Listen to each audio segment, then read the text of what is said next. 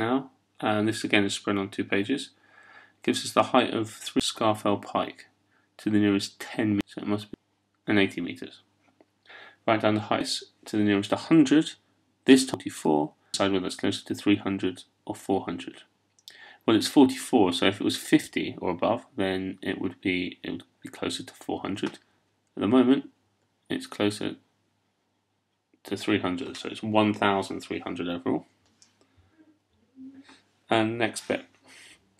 I've put the heights across here because we might need them. But um, Kylie and Dean do a sponsored run. They both run up each of the three mountains. They're sponsored for 30p per metre of height. They want to raise £2,000 altogether. Well, let's add up the heights altogether. We get 978, 1344, and 1085. And we want to add all of these up. So 8 4 is 12 plus 5 is 17. 7 4 is 11 plus 8 is 19.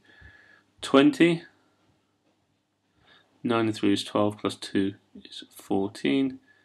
So it's 3,407. So it's a total of, uh, the total is equal to 3,470 meters. Okay? And they get sponsored 30p per meter. So that means that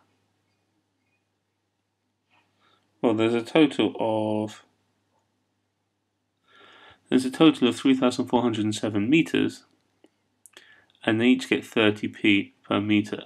So um, Kylie's going to get 30p for these meters and Dean is going to get 30p for these meters.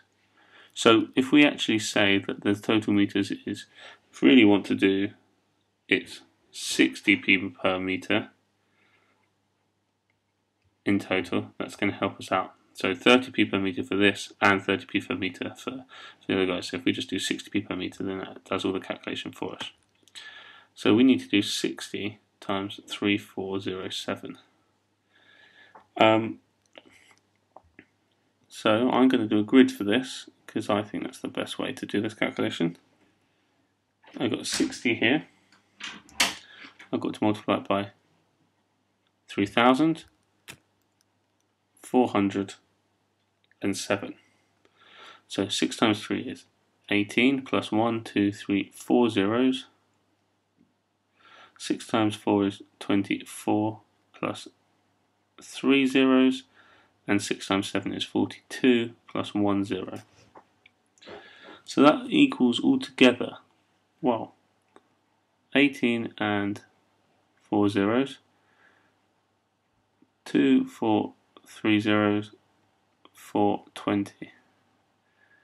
Let's add those up. 0, 2, 4, 4, 0 carry the 1, 2. So 204420.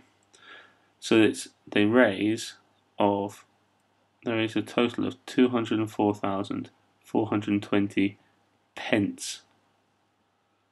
Okay, now we want to convert that into pounds, so we divide it by 100, so it's actually 2,044 pounds and 20 pence. And they're trying to raise 2,000 pounds altogether.